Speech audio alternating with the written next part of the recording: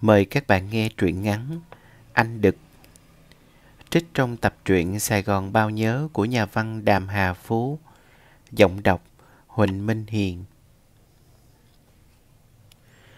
Đời tôi bôn ba, Từng làm đủ thứ nghề để kiếm tiền và để sống. Nói vậy để các bạn phân biệt rõ hai mục đích khác nhau. Có những nghề mà chắc mấy bạn trẻ giờ không biết, Như nghề xếp hàng mướn thời bao cấp hay mới đây là nghề chim mồi xe đò. Nói cho ngay, thời cách đây hai chục năm, xe đò Sài Gòn đi miền Tây tự phát lắm. Có bến xe, nhưng mà xe dù, xe khách đủ loại, chủ yếu tự sắp tài, tự bắt khách. Nên giờ giấc chạy không đúng, dừng đón thả khách tùm lum. Bởi vậy nên bà con mới xin tâm lý mỗi khi ra bắt xe là thường chọn xe gần đủ khách rồi à, đặng chạy cho mau. Muốn cho xe nhìn có vẻ gần đủ khách, tài xế thường mướn mấy người lên ngồi sẵn, làm chim mồi để dụ những người khách khác. Xe sẽ chạy lòng vòng đón khách, khi nào đầy thiệt thì lúc đó chim mồi sẽ xuống ở cây xăng gần nhất. Thường mỗi bận chim mồi tôi được trả từ 2 tới 4 ngàn đồng, tùy theo bắt khách nhanh hay chậm. Nghề này tưởng nhàn nhưng mà mệt lắm. Ngồi suốt trên cái xe nóng nực, nhanh thì 15 phút, lâu có khi cả tiếng.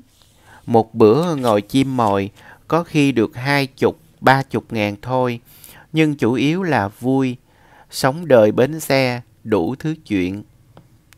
Nhờ nghề này mà quen nhiều tài xế ở miền Tây. Sau đến năm 96 tôi về Cần Thơ làm việc, Cuối tuần thường bắt xe lên Sài Gòn thăm người yêu. Dễ lắm. Chiều tan sở đi bộ lững thững ra bến phà, qua bến Bình Minh, ngoắt cái xe quen. Cho khách lên đủ rồi mình ôm cái cửa làm lơ xe. Bữa nào xe đủ khách thì tài xế không lấy tiền. Bữa nào thiếu khách thì mình bù 10, 20 ngàn. Còn không cho tài xế gói con mèo.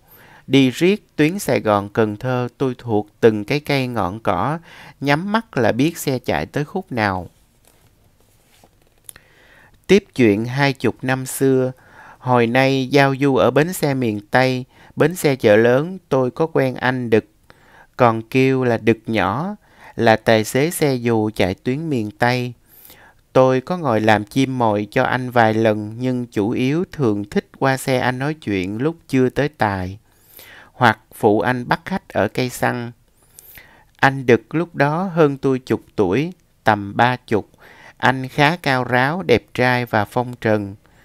Anh Đực có lối nói chuyện vui lắm. Người lúc nào cũng tươi rối rối. Nói gì cũng thẳng băng. Mới đầu cảm giác hơi dội dội, nhưng mà nghe quen thì êm. Nghe là biết con người thiệt bụng. Bữa nọ, Sài Gòn cũng vào gần mùa Tết, lành lạnh. Ngoài ngoài lộ đàn bà con gái đã lát đát áo len. Khách miệt dưới lên thì nhiều mà khách Sài Gòn đi thì thưa. Trưa trời trưa trợt mà tôi với đực nhỏ lòng vòng cả tiếng chỉ được có hai khách. Đực nhỏ tấp vô cây xăng, sang lại hai khách cho xe khác rồi ngoặt tôi qua hỏi. Phú, mày uống rượu không? Được chứ. Ừ, Vậy thôi về nhà tao nhậu đi. Thì đi. Đực nhỏ bỏ xe, đực nhỏ bỏ xe ở cây xăng, lấy xe đạp đòn dông chở tôi về nhà. Đâu trong con hẻm gần đó, vô nhà là bày rượu ra, hai anh em lai rai. Đực nhỏ sống với má, một bà già rằn rặc nam bộ, như bước ra từ thời mở cõi, còn nguyên cái khăn rằn quấn đầu, nhai trầu bẩm bẻm và hút thuốc rê. Bà nói ờ, tụi bay ngồi đó đi, để tao đi kiếm cái gì dằn bụng. Đi chừng 5 phút thì đã thì bà đã bưng về một tô xí quách bự chản nghi ngút khói. Lúc rượu đã say vài tua, mới hỏi chuyện gia đình, lúc này đực nhỏ nói thiệt. Má này là má nuôi chứ không phải má ruột. Chuyện cũng dài vòng vòng như chuyện cũng dài lòng vòng vo như tam quốc. Đại khái là đực nhỏ vốn là con gia đình khác. Má anh với bà già này có buôn bán với nhau mấy lần. Năm chiến tranh biên giới miên, ba đực nhỏ và một người anh trúng đạn pháo chết. Má dắt anh lên Sài Gòn ở đậu nhờ nhà này. Có cái sạp buôn bán ở chợ. Bà chủ nhà lúc đó cũng đương rầu, chồng bỏ theo vợ bé, nuôi ba đứa con. Có một đứa con trai cũng hy sinh năm, năm chiến tranh biên giới. Lúc đó bà buồn quá nên nhận được nhỏ làm con nuôi. Rồi má ruột của đực nhỏ bị bệnh, chết mấy năm sau đó. Đực nhỏ coi như thành con của bà gia chủ nhà luôn. Má má con con, người ngoài không hề biết là con nuôi. Lại thêm vài tua rượu nữa, đực nhỏ mới kể chuyện tình duyên. Mấy năm trước đó đực nhỏ bị một tai nạn ở Vĩnh Long. Đang đi ngon trớn thì bị một cha nội say xỉn chạy xe máy băng ngang đường, lủi thẳng vô đầu xe rồi bất tỉnh. Chở vô bệnh viện chừng một tiếng là chết. Nói thêm là hồi đó đường miền Tây nhỏ lắm. Chưa có con lương giải phân cách và cũng chưa có ai đội mũ bảo hiểm như bây giờ. Vụ đó được nhỏ bị giam xe, công an xử lên xử xuống mấy lần, cuối cùng rồi cũng êm. Do cha kia sai hoàn toàn, uống từ sáng tới chiều, chạy xe ngược chiều, băng qua đường, tự lủi vô xe khách. Nói vậy chứ được nhỏ cũng tốn tiền ma chay cho nạn nhân, hỗ trợ gia đình này nọ. Gia đình nạn nhân của được nhỏ ở một cái quán lá, vừa quán cà phê, vừa bán tạp hóa, vừa là quán nhậu ngay bên đường, xeo xéo chỗ tai nạn chừng năm thước. Hai vợ chồng bán quán sinh nhai, anh chồng chết bỏ lại chị vợ với hai đứa con nhỏ, đứa lớn chừng gần 3 tuổi, đứa nhỏ mới sanh mấy tháng. Chị vợ là dân miệt Đồng Tháp qua làm dâu bên này. Thực ra sau này được nhỏ mới biết là anh chồng kia cũng chẳng tốt lành gì. Suốt ngày nhậu nhẹt, số đề, đánh vợ, chửi con. Nhưng dầu sao đi nữa, làm dâu xứ lạ. Chồng chết, thành ra chị nọ bơ vơ, một thân một mình nuôi con. Thấy gia đình quá thảm, nên dù không có trác của tòa, điều đặn hàng tuần được nhỏ vẫn tự giác phụ tiền cho chị kia nuôi con. Ngoài tiền bạc ra, hầu như cuốc xe nào được nhỏ cũng ghé, biếu khi thì gói bánh, khi hộp sữa, lúc thì sắp vải, chai dầu. Do chạy xe khách nên được nhỏ không ghé lâu được, chỉ tấp vô một hai phút nói một hai câu rồi đi.